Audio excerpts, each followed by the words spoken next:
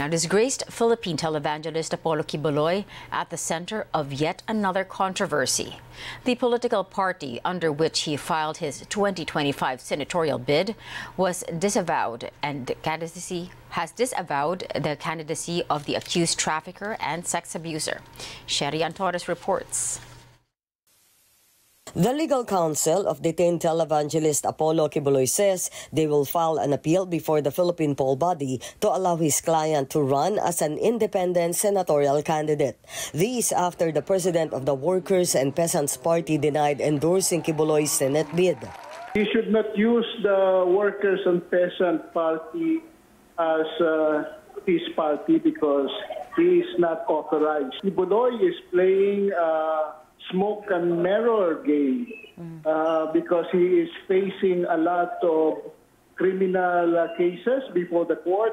He is using the electoral uh, front to to blind people uh, with respect to the charges against him.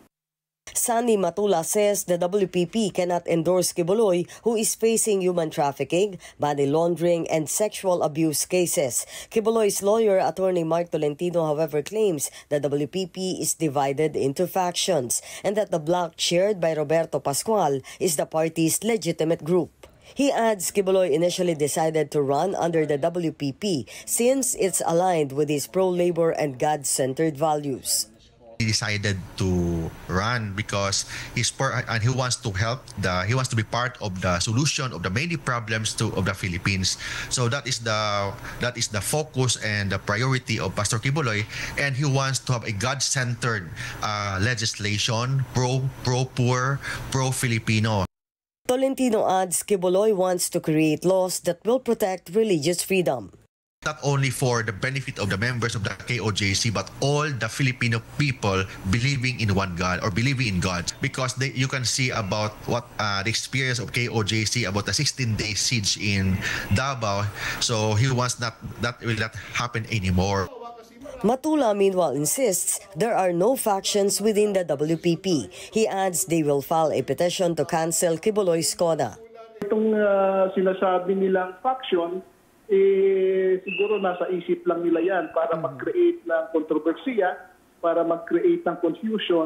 Hindi nga autorisado ito ng Workers and Peasant Party. So, isasampa natin probably next week yung uh, kaso sa COMELEC.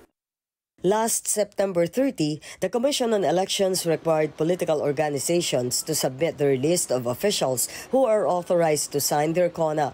And in the Comelec's WPP record, the names of lawyers Ariel Joseph Arias, Jose Sonny Matula, Alan Montano, and Dr. Oscar Morado appeared as officials authorized to sign the WPP's CONA.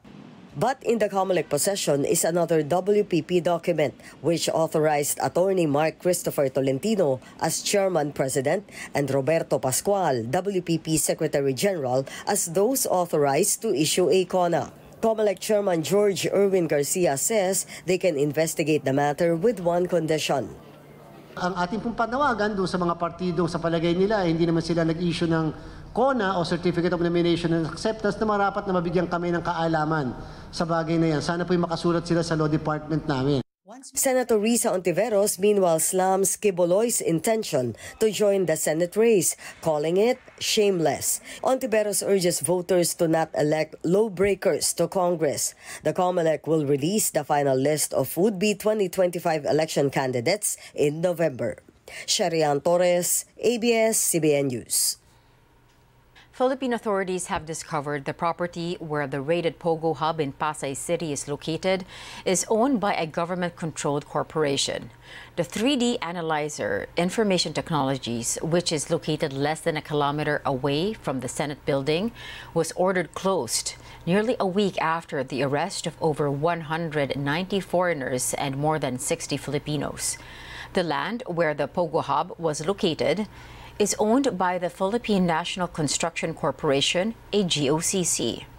The illegal Pogo Hub was also operating inside the building owned by the Pacific Concrete, Concrete Products Incorporated, whose president is Alexander Lopez, the current chairman of the Philippine Reclamation Authority.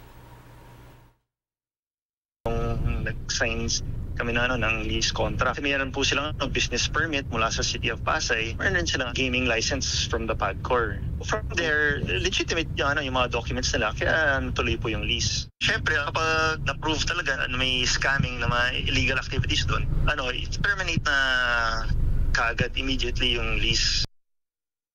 The Presidential Anti-Organized Crime Commission says it is still cracking down on around 58 to 200 pogos in the country. This over two months since President Marcos announced the ban of pogos in the country during his State of the Nation address. Parang nangyayari kasi parang modus operandi na ng mga magpopogo ito ano. Ang pinapa-inspeksyon nila yung yung lugar na gusto nilang ipakita sa iyo na malinis, na walang violation, walang uh, scamming activities. Pero ang totoo, uh, nakatago sa ibang kwarto yung scamming operations. Ano? The Ombudsman suspends the entire leadership of a town in the Philippine province of Pampanga for failing to prevent the criminal activities of an offshore gaming operator. The mayor and vice mayor of Porac, along with eight councillors, and the head of the town's business licensing office, are suspended for six months without pay. The ombudsman said they committed gross neglect of duty in relation to the illegal activities of the Lucky South 99 gaming hub. It is said Mayor Jaime Capil failed to take appropriate action despite being alerted by the police to alleged crimes taking place in the gaming hub's compound. The Philippine president ordering cabinet officials to prepare for the evacuation of Filipinos from Lebanon. But he stopped short of placing the conflict torn country under alert level 4, which calls for mandatory repatriation. Marcos squeezed in a virtual meeting with several cabinet members from Laos as Israel and Hezbollah continue to exchange attacks. His marching order utilized all assets to bring home hundreds of Filipinos stuck in the Middle Eastern country. Just make all the preparations so that nakamalapit na lahat ng asset natin. Kung may barko tayong kukunin, nandyan na malapit na sa Beirut, na sandali lang, basta the embassy gives us uh, the all clear and they say that our people can go, mailabas na kagad natin uh, so that hindi sila nag-aantay na matagal uh, in a in the danger areas. As of October 8, over 1,700 Filipinos in Lebanon have applied for repatriation. Around 500 have already returned to Manila. A migrant workers group in the Middle East urging the Philippine government to be more proactive and to order the mandatory repatriation of Filipinos in Lebanon. Marami tayong mga nakakausap sa Lebanon na paulit-ulit na sila nagpupunta sa embassy. Pero ang binabanggit sa kanila, magpalista lamang sila. Pero marami rin sa mga kababayan natin na nasa southern part ng Lebanon na kung saan nandun yung bombahan ngayon, ang hindi na talaga makalabas ng kanilang mga bahay. At uh, tumatawag sila sa OWA, sa DMW, at saka sa embassy, ang laging binabanggit sa kanila ay standby lang. Pero ang marami sa kanila ay nanghihingi na ng rescue. Sa tinatakbo ng bagal ng repatriation, yung mga nasa shelter, ilang linggo na sila, buwan na doon. Tingin namin dapat hindi na maghintay yung ating national government doon sa mga sa mga private uh, flights. Kailangan mm-hmm. talagang magkaroon ng mga chartered flights. Over in the U.S., dangerous winds rage across Florida, coupled with multiple tornadoes ahead of Hurricane Milton's landfall.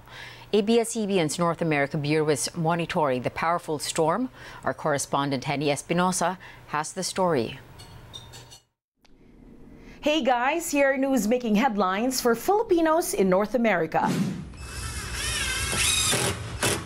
All eyes are on Florida as Hurricane Milton, described as an extremely dangerous Category 4 storm, is forecast to make landfall near Tampa, Florida late Wednesday or early morning on Thursday and move east northeast central Florida thereafter.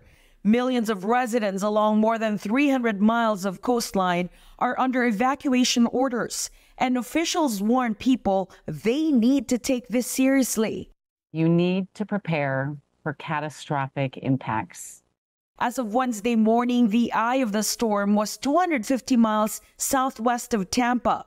driving sustained winds of 145 miles per hour. The region, still reeling from the aftermath of Hurricane Helene two weeks ago, could see life threatening storm surges, damaging winds, and heavy rainfall. Floridians are in panic buying mode, with many gas stations running out of fuel for those fleeing for safety. What we see from these storms is that the majority of the fatalities come from the storm surge, come from the water. More than 12 million people were also under tornado warnings.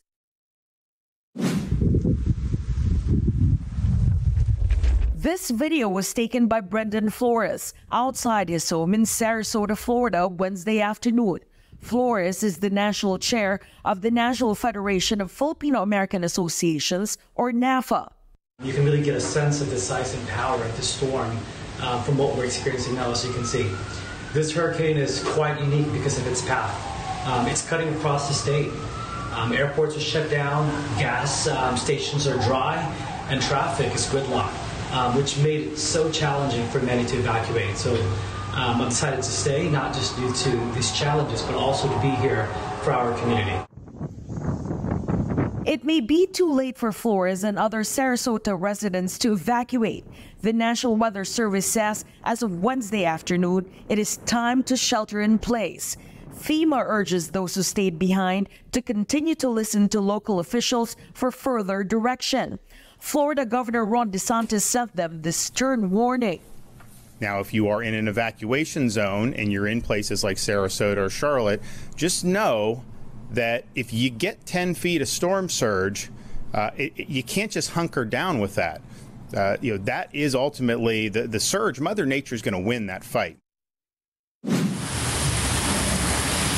In this time of disaster, Filipino essential workers in Florida are ready to put in the hours and do their jobs, even if it means risking their lives. Some hospitals have put up protective barriers that can withstand storm surges up to 15 feet above sea level. Emilio Cruz shares that his wife, a patient care technician, and two daughters, both nurses, are committed to keep working. Yung sa eldest daughter ko kasi, she's actually working at North Bay Hospital. And since yung North Bay na yan is mandatory evacuation, they have to transfer in Wesley Chapel. Eh, yung second daughter ko naman yung youngest sa St. Anthony in St. Petersburg. Nurse Erin Arcelia, who lives in Pasco County, is preparing to work long hours to care for his patients. For the whole duration of the storm, I am expecting that I'll be working in the hospital and part of only the preparations that I am making is to make sure that the house and my personal items are secured during the storm and that I have enough supplies to last for maybe a good week because uh, I am expecting power outages after the storm. And those are the news making headlines today. You can catch more TFC news on the ABS-CBN News website and YouTube channel. I'm Henni Espinosa. Back to you guys at the rundown. Let's get an update on the weather now from Pagasa forecaster Chenel Dominguez. Good morning, Chenel. Good morning, Bettina. Good morning to all. So currently, we are not monitoring any tropical cyclone or low pressure area within and outside our Philippine area of responsibility that may be expected to affect our country in the coming days.